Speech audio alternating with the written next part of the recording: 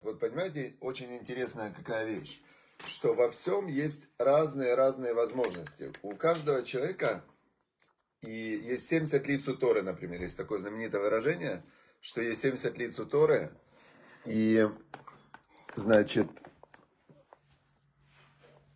но YouTube сегодня у нас не будет трансляции, потому что был не заряжен, нет энергии, нет жизни. Представляете, какая метафора? Все, что с нами происходит, это сигнал от Всевышнего. Нет энергии, вот сел iPad у меня, не будет трансляции в YouTube. Потому что две причины. Как бы явная есть причина. Явная причина не заряжен iPad, правильно? Это явная причина. Это первая, как бы, то, что сразу видно. А вторая причина какая? Что я не подумал о том, что нужно было с утра подключить iPad к зарядке. Это более глубокая причина. Но обычно человек не видит глубоких причин. Он видит мир одномерно, а Тора нас учит заглядывать, заглядывать поглубже, заглядывать поглубже и видеть, видеть причинно-следственные связи, видеть э, как бы духовные причины во всем, что происходит. И духовная причина в том, что iPad, что сегодня на YouTube нет трансляции, это то, что я не зарядил iPad. Вот, и мне надо над этим подумать будет после урока, над тем, что нужно быть более предусмотрительным. Хорошо. Но так как Тора нас учит не, не хранить все яйца в одной корзине, да, это тоже одна из главных таких уроков, важных уроков Торы, не главных, а важных, то у нас есть, слава Богу, для трансляции Facebook и Telegram. Все. Сегодня недельная глава, которую мы изучаем перед шаббатом и заканчиваем ее. Кстати, интересно, что за границей читают глава Насо, а в Израиле читают главу Беалотха. Так иногда бывает, потому что в Израиле праздники празднуют один день, а за границей удваивается два. Поэтому я буду говорить про главу Беалотка, которую читают в Израиле. Значит, началось все с того, что глава началась с того, что говорилось нам про, про минору. Что да, есть э, минора, ее зажигают священники. Минора символизирует свет Торы, знание Торы. На шаббат, кстати, тот, кто Э, оливковое масло зажигают в шабатные свечи, то есть э, такая сгула, сгула это как, такой как лайфхак, кто-то зажигает оливковое масло, у того будет и знание Торы, и дети его будут любить учить Тору. Поэтому, если есть возможность, зажигайте шабатные свечи именно на оливковое масло. Дальше говорится про левитов. И левиты это священники в народе Израиля, о том, как их подготовить к служению.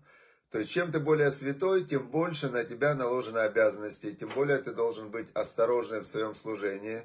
То есть, тот, кто тянется к святости и ко Всевышнему, должен быть готов к тому, что чем больше ты освящаешься, святость освятится, становишься святой, тем больше ты на свету. То есть, тем больше Всевышний тебя видит.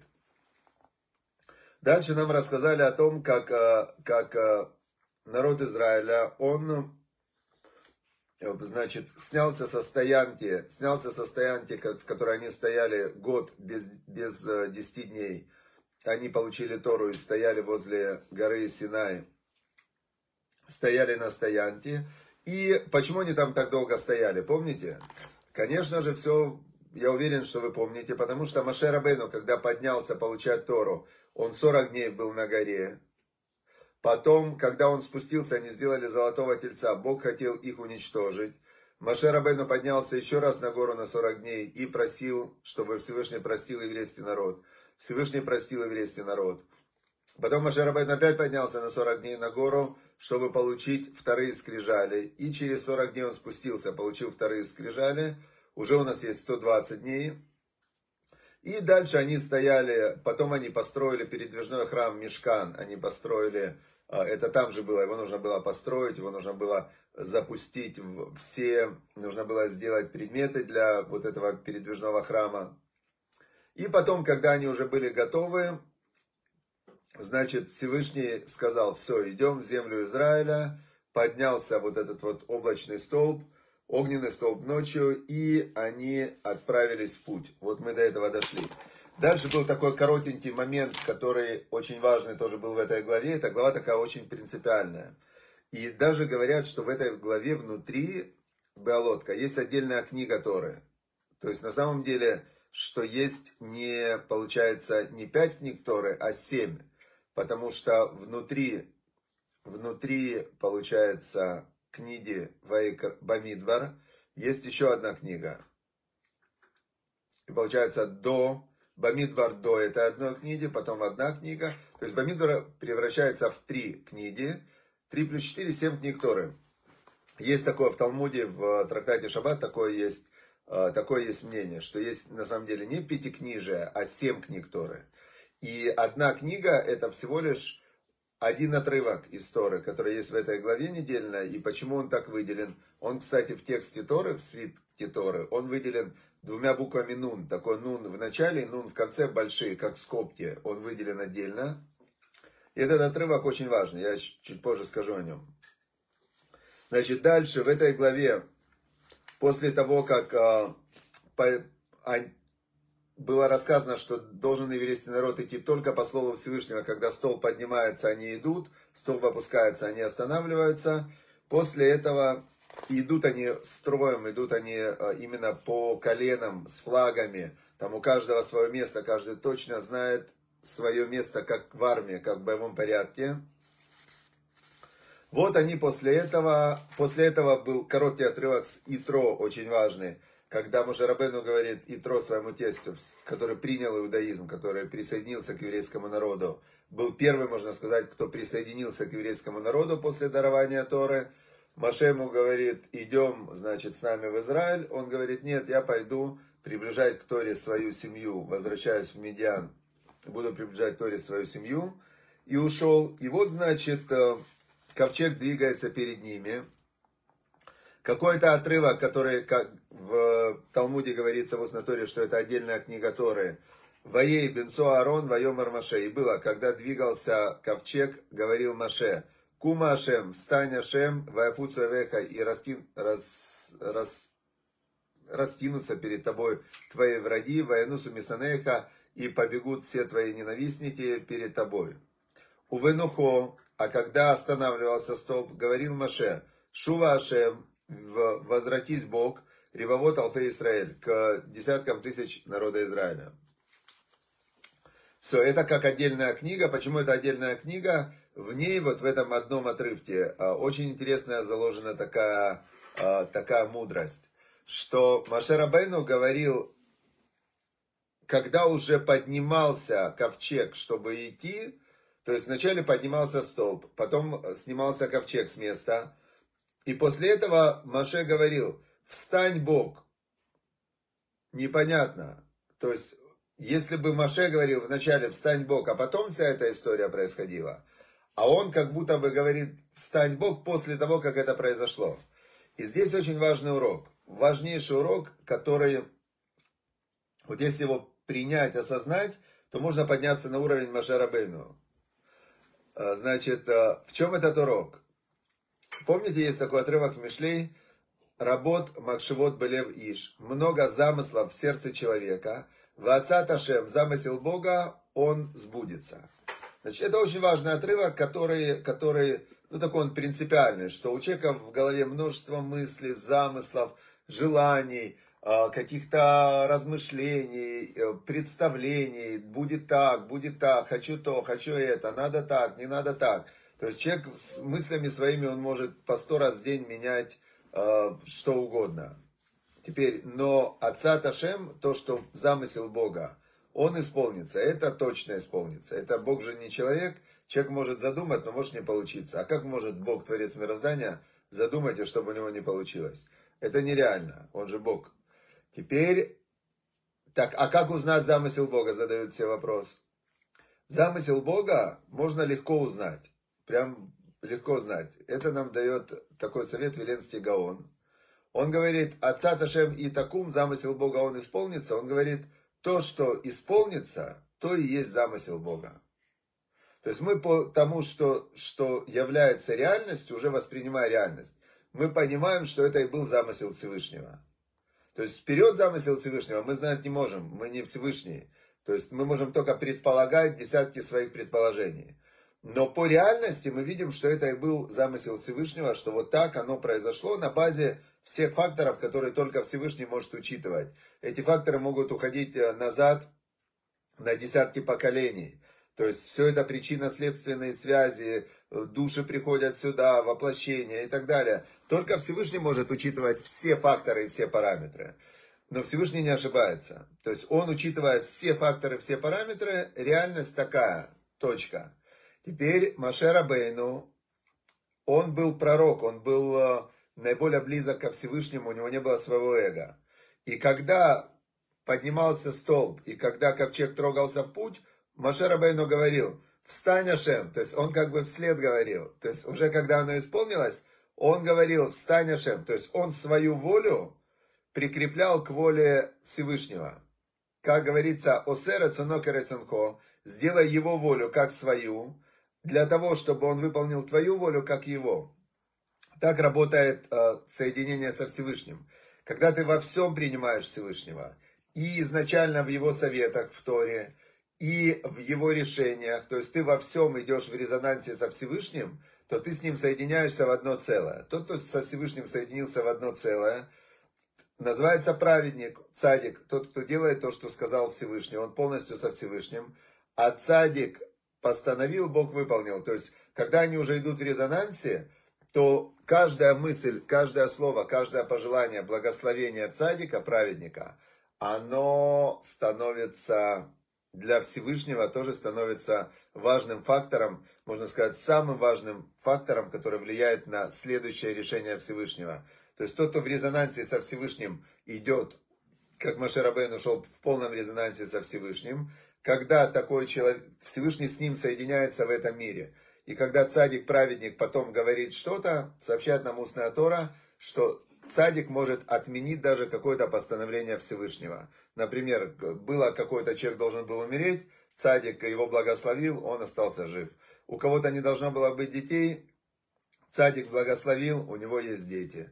И так далее. То есть в этом и сила праведника, то, что он во всем соединился со Всевышним. И здесь мы учим из этого отрывка вот это вот э, качество Маше Рабейну, что он был во всем со Всевышним. То есть он, когда Всевышний делал, он это, он говорил, сделай, уже после. То есть это то, что мы, когда, например, не дай Бог, э, умирает кто-то, так есть благословение, говорят, Барух, благословен Даян Аймед, благословен судья истины. То есть мы не говорим, зачем ты это сделал, как ты мог, Всевышний, там, мы с ним не сопротивляемся.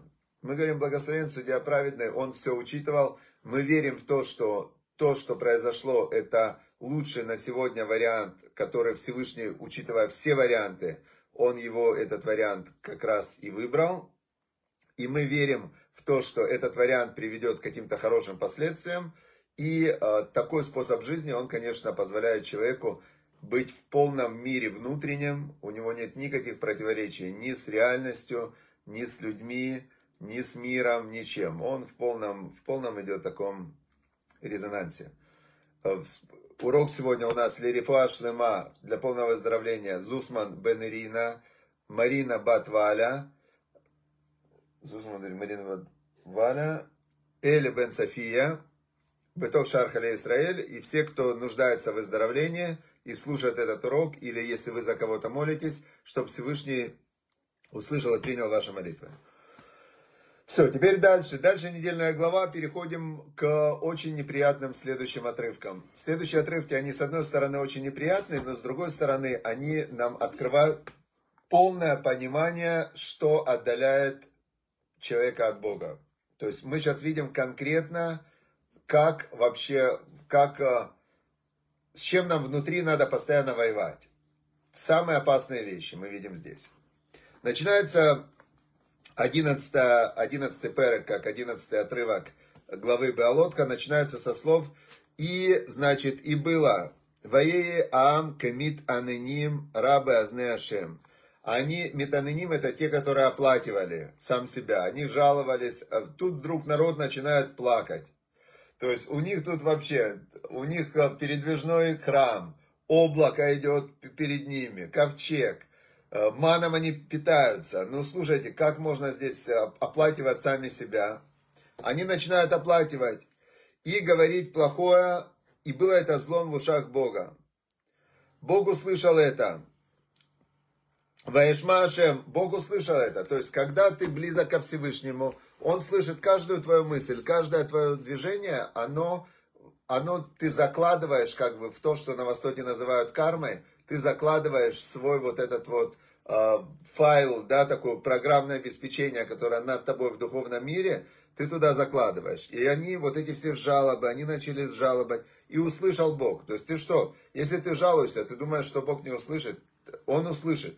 Как есть известная шутка, когда один ехал человек там в автобусе или где-то, и он говорит, ой, у меня жена ужасная, как меня достала эта работа, ненавижу эту работу, ненавижу все там, в общем, он все, он ненавидит, и он все. А ангел такой сверху сидит, записывает, говорит, я, говорит, э, все принимаю, все твои запросы я принимаю, только мне непонятно, зачем тебе это все надо, то, что ты сейчас говоришь.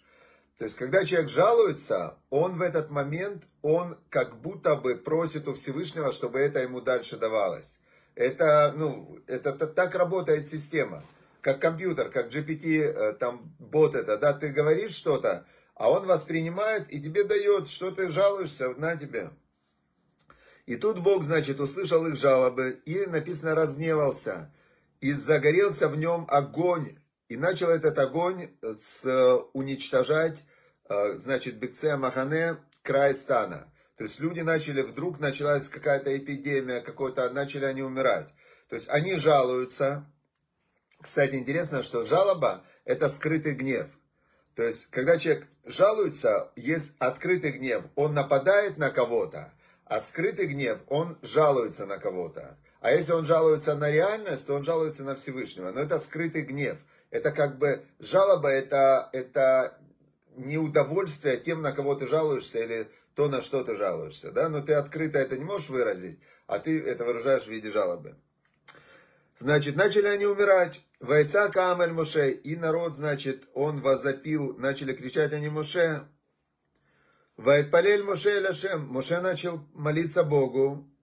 И остановился этот огонь, который пожирать начал стан Израиля остановился огонь. Ваекра и назвали это место Тиваэра, значит, это место назвали, значит, Тиваэра это как э, там, где сгорали, там, где сгорали, потому что там, э, там пылал огонь Всевышнего. И, значит, э, в Аасавсуф, Ашер Бетербо. Слово Аасавсуф это сброд, то, тех, кого собрали которые были внутри, э, внутри народа, значит, э, всегда есть разные-разные э, категории людей. Есть категории людей, которые очень духовные, там они, их волнует только духовность. Есть люди, которых волнует власть, есть которых волнует почет, есть которых волнует только личное удовольствие и кайф, личный кайф. И вот этот сброд, такие люди называются сброд, которые, знаете, кайфовщики, там, алкоголики, наркоманы, там, и всякие такие которые были внутри народа, они, написано, и таву тава. Они, значит, э, начали они вожделеть. Значит, э, вожделение, есть в перте вот такая мешна, что кина, зависть, вожделение и стремление к почету человека сживают с этого мира. И люди, которые, которые ведомы своими тавод, вожделениями, зависимостями, какими-то итмакрут, есть такое слово в иврите, когда человек чему-то, вот там, я не могу без там кофе, например, я не могу без не выпить, я не могу не покурить, я не могу, я хочу. Вот я так хочу, что прям умру сейчас, если не сделаю. Это называется зависимости от вожделения. И вот они начали, а, они, которые были вот эти вот ит, а, асавсуф, этот сброд, которые были внутри народа, они начали предаваться своим вожделениям. И начали они плакать, а за ними начали плакать и сыны Израиля. И начали они плакать на тему «Мия Хилену Басар», «Кто накормит нас мясом?» Кричать начали они. Кто накормит нас мясом? Вот у них проблема такая была, у них ман, у них дальше Тора говорит – Э, значит, а, и дальше они текст. Текст знакомый, потому что я этот текст слышал много раз от уехавших из Советского Союза, особенно когда я был в Америке. Э, и в Америке вот есть целые, они прям э, такая Брайтон-Бич, это как э, Советский Союз 90-х. Захара, Захар, ну помним мы, значит, помним мы рыбку, которую мы ели тогда. Есть в Москве такой ресторан «Доктор Живаго». Там играет советская музыка, и все-все вот это советское на советских газетах, селедки, там все вот именно меню советское такое, да, именно советское. И они, вот эти, которые вышли из Египта, они плакали и говорили, мы еще помним рыбу, которую бывало ели в Египте, даром. А это те, которые водка по там 3,50, 3,65, даром мы эту, огурцы, дыни, парей, лук и чеснок. Но это то, что было в то время как бы египетской едой, вот они вот за всем этим скучали. А теперь наша душа иссохла без всего этого, душа иссохла без всего этого. Значит, э, вата навшену еваша, теперь вот мы прям не можем мы без этого э, кефира по, по рублю, да? Значит, э, перед нет у нас ничего, кроме мана. Торан, и Тора нам дает сразу напоминание. Аман был похож на семя кориандра и блестел, как поверхность хрусталя. Люди собирали этот ман, мололи его на жерновах, толкли в ступках, варили в горшке или делали из него лепешки. Был его вкус подобен вкусу лепешки на масле. А когда ночью на стан выпадала роса, ман ложился на нее. В общем, они плакали просто так. Это как вот люди жалуются, они жалуются просто так. И когда ты его спросишь, что ты жалуешься? А что ты сделал для того, чтобы тебе стало лучше? Они говорят, нет, я ничего не сделал и делать ничего не буду. Я буду жаловаться. Потому что жаловаться это проще всего. И вот они жаловались. И Маше Рабейну в этот момент, значит, он начал переживать. Маше слышал, что люди плачут среди своих семей, каждый у входа в свой шатер. И гнев Бога сильно разгорелся, и было это злом в глазах Маше. И Маше сказал Богу, за что ты, значит, Маше ему говорит, Вемер Маше Ляшем, лама эрейса лявдеха. Зачем ты делаешь зло э, своему рабу, говорит Маше. Лама лома цати хен бейнеха. Почему не нашел милость в твоих глазах? «А зачем ты на меня положил ношу вот этого народа всего? Маше Рабейну ему говорит, я не хотел идти в Египет. Я тебе сразу говорил, я не подхожу. Маше Рабейну взял это как, э, он э, э, взял на себя ответственность. И он говорит, это моя ответственность, что я не смог им объяснить все, я не смог им показать, я плохой лидер.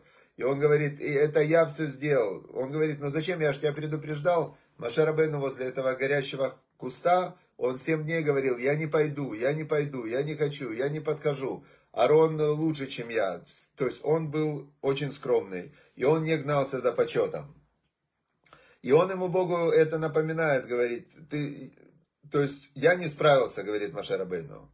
Анахи, Арити, он говорит, что я родил этот э, народ, что я его родил, что ли, я его, ну, я его как бы носил в себе, я его родил, э, что, значит, ты говоришь, что я должен их нести, как, э, как орел несет своих птенцов, значит, а, что я должен их завести в землю, которую ты поклялся их отцам. Машарабану говорит, я не справился, но ты видишь, что ну, нет у меня сил. Ман басар, откуда у меня мясо, говорит Машарабейну, дать этому народу. Они плак, плачут на меня, говорят, дай нам мясо, мы будем кушать. То есть ты меня поставил лидером, но я не могу быть лидером, я не могу выполнять их просьбы. Значит, быть лидером самое тяжелое. И Моше говорит, לא אוכל אנוכי לבדי לשאת את כל העם הזה. Не могу я один нести весь этот народ на себе. כי כבד ממני, он тяжелее, эта ноша тяжелее, чем я могу поднять. ואם ככה את עושה לי הרגני נא. И Моше Рабейну говорит, если ты так меня поставил в ситуацию, в которой я не справился, убей лучше меня, говорит Моше Рабену Богу. А, значит, э, им мацати хен бейнеха, если нашел милость в твоих глазах. А, и не, чтобы не увидеть мне, как я не справился. Чтобы не видеть меня, как я не справился. И сказал Бог Маше, значит, собери 70 человек, старейшин Израиля, которые, старейшины это были, ну, самые такие опытные люди, которые были, управляли, ну, имели большой авторитет. И Маше Рабейну, значит, сказал он ему, собери старейшин этих Уже у нас 27 минут прошло. Значит, я сейчас тогда коротко прошло. Маше Рабейну собирает, собирает этих старейшин. Но здесь я этот урок получил от Рава Зильбера. Очень практический урок нам здесь дает Тора. Самые высокие вещи, но какая гениальная практика. Бог сказал Маше Рабейну собрать 70 старейшин. Было 12 колен. Как из 12 колен выбрать 70 человек, чтобы никто не обиделся? Как? То есть, если Маше Рабейну выбирает сам, это сразу пойдут разговоры, что он опять не справился. Значит, он говорит, давайте каждое колено по 6 старейшин, 12 на 6, 72. Дальше написали имена всех старейшин, э, значит, на 70 бумажках написали, что ты будешь старейшина, и Божественный Дух на тебя перейдет. Бог э, от Маше Рабену хотел на этих 70 старейшин дать пророчество. А двое пустые бумажки. Все, значит, вы не старейшины, вы не входите в эти 70. Вытащили, значит, два человека вытаскивают пустые бумажки, Ильдат и Мадат их звали, дальше есть их имена. Значит, 70, ну, жребий, значит, Рав Зильбер тогда, когда эту главу объяснял, он сказал, что все спорные вопросы вот такого плана лучше решать с жребием. Я с тех пор жребием очень, значит, ну вот во всех, когда надо выбрать победителя, когда надо выбрать что-то, жребий, чтобы не, не было, это не я, чтобы не было на меня обид чтобы все видели, все честно и тянет. Э, я когда-то разыгрывали мы на мегатренинге приз машина. Два года подряд кто-то выигрывал машину. И мы прям реально разыгрывали два раза. Оба раза люди не верили, что как, просто человек из зала выиграл машину. Да, выиграли. То именно по жребию. Теперь значит, что теперь... Но, но пророчество пошло на всех 72. Всевышний тоже не хотел отдельно, чтобы эти двое обиделись, и они начали пророчествовать. И они начали пророчествовать, что Машарабейну не зайдет в землю Израиля. Иошуа бен Нун, ученик Машарабейну, он прибежал к Маше, говорит, как, они твой авторитет нарушают. Машарабейну говорит, я не гонюсь за почетом. Пускай весь народ Израиля будут пророками, я только буду рать. Мне не нужен ни личный почет, ничего. Мне нужно, чтобы воля Всевышнего выполнялась. Это то, что называется, что Машерабейну Эвет Ашем. У него не было личных интересов, он только хотел одного, чтобы воля Всевышнего исполнялась. Теперь следующая концовка недельной главы, следующий эпизод, это последний в этой главе. Значит, э, прям Машерабейну ему говорит, что ты ревнуешь за меня? То есть ты, как кина это кина, зависть, вожделение, и стремление к почету человека вытаскивает из этого мира, то есть уничтожает его. И мы здесь видим, как, э, что помешало еврейскому народу зайти сразу в землю Израиля. Тава, значит, они вожделели мясо. Кина, зависть, это вот этот момент Ильдат, Мадат, то есть это естественное человеческое чувство и стремление к почету. Мы видим, что у Машерабейну не было стремления к почету, но концовка главы какая? Мирям и Аарон, самые святые люди, которые только можно представить. Родной брат Машерабейну и родная сестра Машерабейну разговаривают между собой о Машерабейну. И они, значит, когда обсуждали, что он женат на, на Цепоре, но он, он перестал с ней жить как муж и жена, потому что он все время был на контакте со Всевышним, и это невозможно. И Мирям говорит Арону с хорошими побуждениями. Говорит, что это Машерабейну а, ушел от жены. Ведь что, разве только с Маше говорит Бог? Разве он не говорит так же с нами? Мы тоже пророки, но мы же так не поступаем. То есть это было какое-то такое против Маше а, высказывание. И тут раздается голос, и внезапно Бог говорит Моше, Арон и Мирям, выйдите все трое к шатру собрания. Вышли они, и Бог говорит, что Моше Рабейну не такой пророк, как остальные пророки. Я с ним разговариваю на совершенно другом уровне.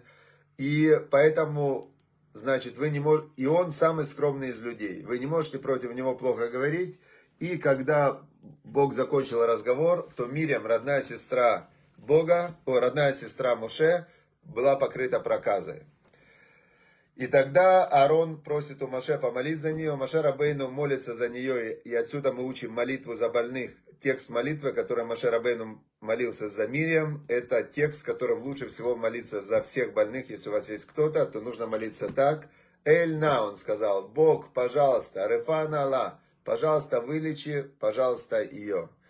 И когда он сказал так, Эльна Рефанала, Бог сказал, хорошо, значит, как все прокаженные, которые говорят лашонара, злоязычие, семь дней она будет вне стана, то есть нужно, чтобы она сама поняла и осознала, что нельзя говорить негативные вещи, даже с хорошими побуждениями, даже если эти вещи правда, их нельзя говорить. И, значит, потом Мириам выздоровела. То есть мы видим отсюда, что три вещи, которые реально, от них надо бежать как от, от огня. Первая вещь это вожделение, то есть то, те желания, которые человеком властвуют над ним, да, любые привязанности, любые вожделения, это то, что мешает человеку соединиться со Всевышним. Второе, то, что мешает, стремление к почету, это то, что я самый крутой, я самый главный, я лучше всех, я, значит, недооцененная личность. Это то, что вызывает у человека конфликты с окружающими, гнев, раздражение, упадок силы, депрессии. Вот это вот я супер важный, это то, что на самом деле является для человека самым ну, ужасным, ужасным э, препятствием. Третье, лошонара, злоязычие, когда мы говорим плохо о людях, о будущем, о прошлом, жалобы, обвинения и так далее, это третья страшная вещь, которая человека лишает всего хорошего, что есть в жизни. Все, что Всевышний нас спас от всех этих трех страшных врагов, зависть, вожделение и стремление к почету – и, значит, что мы все зашли в землю Израиля, в вечную жизнь, соединились со Всевышним и жили хорошо, радостно и весело.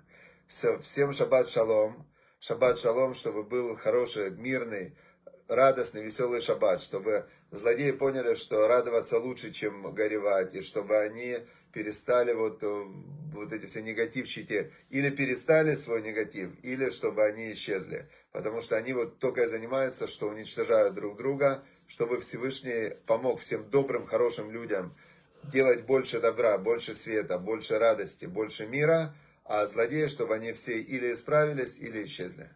Все, шаббат шалом, до завтра. Максим молодец. Напишите свои выводы из урока, свои инсайты, свои выводы. И после того, как вы напишете свои инсайты, свои выводы, поделитесь ими с друзьями, друг с другом, поделитесь уроком. То есть надо распространять божественный свет. Как зло, оно быстро распространяется, также надо сильно распространять добро.